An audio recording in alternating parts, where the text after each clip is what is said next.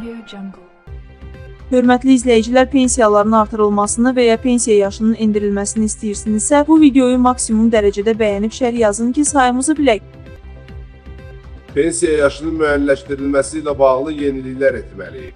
APA'nın məlumatına görə bunu Milli Məclisin bugün keçirilən iclasında deputat Siyavuş Novruzov deyib.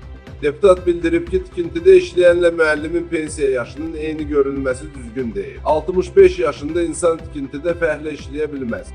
Burada yanaşma tərzi dəyişdirilməlidir. Ağır sahədə çalışan insanlar üçün yaş həddi digərləri ilə eyni tutulmamalıdır.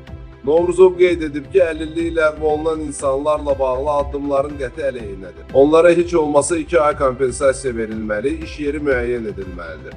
Bugün bu insan təqaüd alır, səhər bunu ləğv edirlər.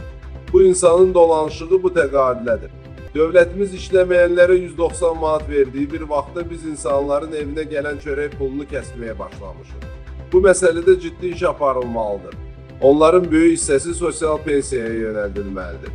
İkincisi, əlilliyin dəqiqləşməsində problemlər var. Bu proses çox çətin gedir.